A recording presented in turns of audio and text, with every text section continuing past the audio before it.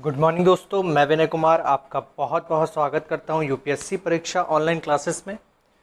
दोस्तों, आज इस वीडियो में हम पढ़ने वाले हैं सात जून 2021 के करंट अफेयर क्वेश्चंस को और बहुत ही बेहतरीन क्वेश्चंस के साथ में ये वीडियो लेके आया हूँ।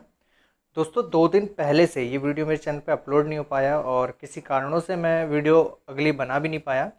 तो आज मैं आपको यहाँ पर सात जून की वीडियो देने वाला हूँ। साथ ही साथ आपको आठ जून की वीडियो आज ही मिलेगी। और जो 9 जून वाली वीडियो है, वो भी मैं आज ही आपको अपने चैनल पे प्रोवाइड कराऊँगा। दोस्तों, शुरू करते हैं इस वीडियो को। और वीडियो शुरू करने से पहले मैं कहना चाहूँगा, चैनल को जिसने सब्सक्राइब नहीं किया है, चैनल को सब्सक्राइब कर लीजिए और बेल आइकन को प्रेस ज़रूर कीजिए। दोस्तों, सबसे पहला हमारा क्वेश्चन है कि वंचित छात्रों को सिविल सेवाओं और सिविल सेवाओं और व्यावसायिक पाठ्यक्रमों में प्रवेश परीक्षाओं की तैयारी में मदद के लिए मुख्यमंत्री अनुप्रति योज कोचिंग योजना किसने शुरू की है? तो यहाँ पर देखिए आपके चार ऑप्शन है, ठीक है? इन चारों में से आपको आंसर देना है। उत्तर प्रदेश, पंजाब, उत्तराखंड और आपका राजस्थान। यहाँ पर ये चार ऑप्शन है तो इसमें देखिए राजस्थान के द्वारा इस योजना को शुरू किया गया है, ठीक है? तो याद रखिएगा राजस्थान। अच्छा दोस्तों, उत्तर प्रदेश ने भी एक कोचिंग योजना शुरू की थी, जिसमें क्या किया गया था? बच्चों को I S P C S level की कोचिंग फ्री में दी जाएगी, ठीक है? आपको उस योजना का नाम कमेंट करके हमें कमेंट बॉक्स में कमेंट करके बताना है, ठीक है? अच्छा दोस्तों, राजस्थान के मुख्यमंत्री का नाम है अशोक गहलोत, ठीक है? तो इसको याद रखिएगा। इनके द्वारा इस योजना को शुरू किया गया था। सेकंड क्वेश्चन है, किस राज्य के द्वारा 300 मिलियन पौधे लगाने का लक्ष्य रखा गया है? तो फिर से हमारे चार ऑप्शन है, उत्तर प्रदेश, पंजाब, उत्तराखंड और राजस्थान। तो यहाँ पर देखिए उत्तर प्रदेश के द्वारा इस योजना का लक्ष्य रखा गया है और यहाँ पर इस योजना में जो जुलाई का महीना आने वाला है, इकतीस जुलाई का जो महीना आएगा, इक्कीस जुलाई का, ठीक है, जैसे 2021 में जो जुलाई का महीना आएगा, इस महीने तक इन 300 पौधों लगाने का जो लक्ष्य है, ठीक है, ये केवल 300 नहीं 300 मिलियन है, लक्ष्य को पूरा किया जाएगा। यह घोषणा 5 जून 2021 को उत्तर प्रदेश के मुख्यमंत्री योगी आदित्यनाथ के द्वारा की गई, जिसमें विश्व पर्यावरण के दिन को अहमियत देते हुए यहाँ पर 300 वृक्ष लगाने की घोषणा की गई। दोस्तों, वन महोत्सव, यानी कि हम इसको कह सकते हैं वानिकीकरण उत्सव, ये मनाया जाता है जुलाई के पहले सप्ताह में मनाया जाता है और 2021 में इसको कब शुरू किया जाएगा? 2021 में जुलाई के पहले सप्ताह को शुरू होगा, जिसके कारण यहाँ पर जो 300 मिलियन पौधे लगाने का लक्ष्य रखा गया है, इसको पूरा किया जाएगा। आगे बात करते हैं। दोस्तों नेक्स्ट क्वेश्चन है हमारा, कौन सा राज्य कोविड 19 की तीसरी लहर से बचने के लिए राज्य में एक बाल चिकित्सा टास्क फोर्स और दो जीनोम अनुक्रमण लगाएगा? तो देखिए, यहाँ पर आपका पौंडीचेरी गोवा दिल्ली और जम्मू कश्मीर, यानी कि आपका जो आंसर है वो क्या हो जाएगा? दिल्ली हो जाएगा, ठीक है? तो दिल्ली ने क्या करा है यहाँ पर? बाल चिकित्सा टास्क फोर्स और दो जीनोम अनुक्रमण। लगाने की बात की है। तो दोस्तों, जीनोम अनुक्रमण क्या होते हैं? सबसे पहली बात तो यही यहाँ से इंपॉर्टेंट है। शहर पर आक्रमण करने वाले वायरस के प्रकारों की पहचान करने के लिए ये जीनोम अनुक्रमण प्रयोगशाला बनाई जाएँगी। दोस्तों, दिल्ली के मुख्यमंत्री श्री अरविंद केजरीवाल हैं। ये किस पार्टी से बिलोंग करते हैं? ये आम आदमी पार्टी से बिलोंग करते हैं। साथ ही साथ अगर आप राज्यपाल की बात करें तो राज्यपाल यहाँ पर कौन है? श्री अनिल बैजल। ठीक है तो कौन है? श्री अनी, अनिल बैजल। चौथा क्वेश्चन है दोस्तों हमारा, कोरोना वायरस संक्रमण से अनाथ बच्चों को 100 प्रतिशत, यानी कि पूरी तरीके से फ्री ठीक है? पूर्ण शुल्क माफ़ी देने की घोषणा किसने की है? तो यहाँ पर चार ऑप्शन है आपके, ठीक है? ए बी सी डी में देखिए जे एन यू है डी यू है बी एच यू या इनमें से कोई नहीं। तो देखिए, इनमें से कोई नहीं वाला तो आंसर नहीं होगा, यहाँ पर आपका आंसर हो जाएगा डी यू ठीक है? दिल्ली यूनिवर्सिटी ने ऐसी घोषणा की है कि वो जो भी कोरोना वायरस संक्रमण के कारण, जो भी बच्चे अनाथ हुए उनकी जो फ़ीस है वो हंड्रेड परसेंट यहाँ पर क्या होगी, माफ़ कर दी जाएगी। अगला क्वेश्चन है दोस्तों, क्वेश्चन नंबर पाँच। भारत ने पिछले छः वर्षों में अपने वन और वृक्षों के आवरण में कितने प्रतिशत वृद्धि दर्ज की है? तो ये जो वृद्धि है, ये है दोस्तों चौबीस दशमलव पाँच छः प्रतिशत।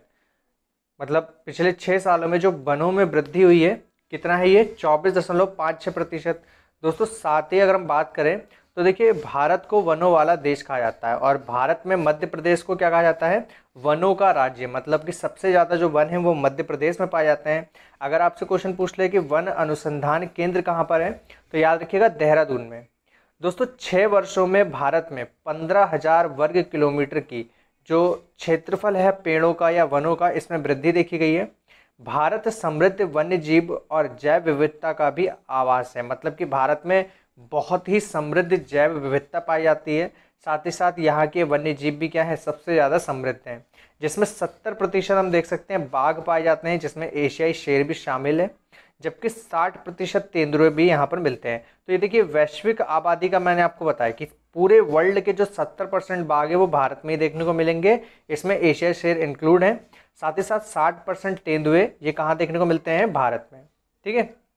क्वेश्चन नंबर छः है तृणमूल कांग्रेस, यानी कि टीएमसी। अभी हाल ही में यहाँ पर बहुत बड़ी जीत के साथ ममता बनर्जी तीसरी बार यहाँ पर मुख्यमंत्री के लिए नियुक्त की गई हैं, ठीक है? अब यहाँ पर देखिए लिखा है कि राष्ट्रीय महासचिव कौन बना इनका, ठीक है? तो तृणमूल कांग्रेस का राष्ट्रीय महासचिव किसको बनाया गया है? तो पहला है आपका सायोनी घोष, दूसरा ऑप्शन है अभिषेक बनर्जी, तीसरा है सुब्रोत पक्षी, और चौथा जो ऑप्शन है वो ममता बनर्जी है। तो देखिए ममता बनर्जी कौन है? पश्चिम बंगाल की, ठीक है, मुख्यमंत्री हैं, ठीक है, अभी हाल ही में इलेक्शन जीत के वापस से मुख्यमंत्री चुनी गई हैं, ठीक है। अच्छा सुब्रोत बनर्जी तो जो थे, वो टीएमसी के मतलब कि जो टीएमसी थे, इसके राष्ट्रीय महासचिव थे, और इनके बाद अब बनाया गया है किसको? अभिषेक बनर्जी को। तो यहाँ पर जो आंसर हो जाएगा, वो बी वाला हो जाएगा, अभिषेक बनर्जी। अभिषेक बनर्जी को तृणमूल कांग्रेस का राष्ट्रीय सचिव नियुक्त किया गया है, ठीक है। अच्छा आगे बात करते हैं। भारत ने पेट्रोल में 20 प्रतिशत एथेनॉल मिश्रण प्राप्त करने की लक्ष्य तिथि को पाँच वर्ष से बढ़ाकर कब तक के लिए कर दिया गया है? तो देखिए, इसको कर दिया गया है 2025 तक, ठीक है? 2025 तक। दोस्तों, वर्तमान में अगर आपसे पूछ ले कि वर्तमान में जो पेट्रोल इसमें इथेनॉल कितना मिलता है तो याद रखिएगा, आठ दशमलव पाँच प्रतिशत। कितना? आठ दशमलव पाँच प्रतिशत। जबकि अगर आपसे कहे कि भारत दुनिया का तीसरा सबसे बड़ा तेल आयातक है तो ये भी बहुत बढ़िया है, क्योंकि देखिए पिचासी परसेंट जो भारत है, वो विदेशों से तेल का आयात करता है। पिचासी परसेंट जो हम तेल का इस्तेमाल करते हैं इंडिया में, उसका केवल पंद्रह परसेंट ही घरेलू होता है, बाकी सब वो कहाँ से मंगाता है? विदेशों से मंगाता है। तो काफ़ी इंपॉर्टेंट क्वेश्चन है कि पिचासी प्रतिशत ये क्या करता है? विदेशों से आयात करता है। अगला क्वेश्चन है छः जून 2021 को ऑपरेशन ब्लू स्टार की सैंतीसवीं वर्षगांठ मनाई गई। ऑपरेशन ब्लू स्टार किससे संबंधित है? तो देखिए, पहला ऑप्शन है अटल बिहारी वाजपेयी, दूसरा ऑप्शन है सरदार मनमोहन सिंह, तीसरा ऑप्शन है श्रीमती इंदिरा गांधी, चौथा ऑप्शन है राजीव गांधी। तो यहाँ पर आंसर जाएगा श्रीमती इंदिरा गांधी। तो देखिए, श्रीमती इंदिरा गांधी के द्वारा ऑपरेशन ब्लू स्टार चलाया गया, ठीक है? अब इस ऑपरेशन का उद्देश्य क्या था?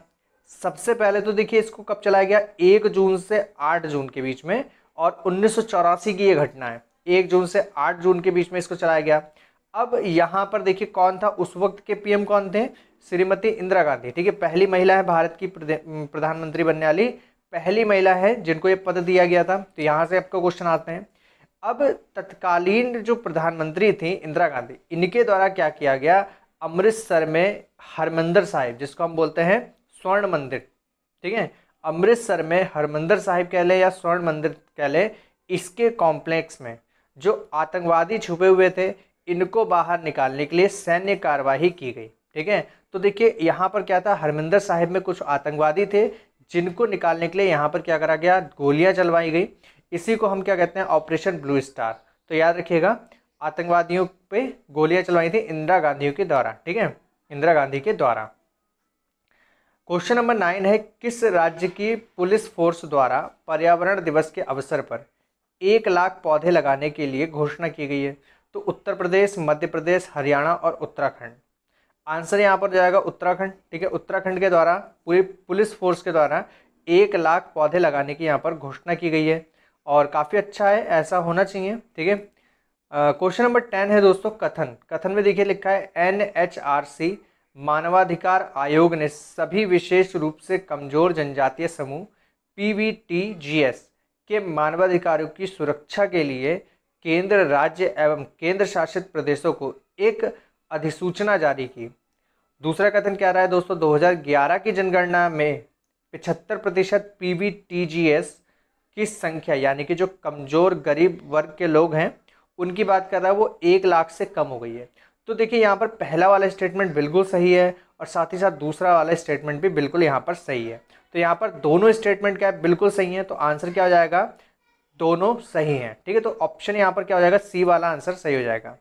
तो आज यहाँ पर वीडियो हमारा यहीं पर समाप्त होता है। दोस्तों वीडियो देरी के लिए माफ़ी चाहता हूँ और अब वीडियो आपको डेली मिल जाएगी ठीक सुबह सात बजे। तो बने रहिएगा मेरे चैनल पर और कमेंट करके बताइए आपको वीडियो कैसा लगा। बाय बाय धन्यवाद। देखते रहिए मेरे चैनल को।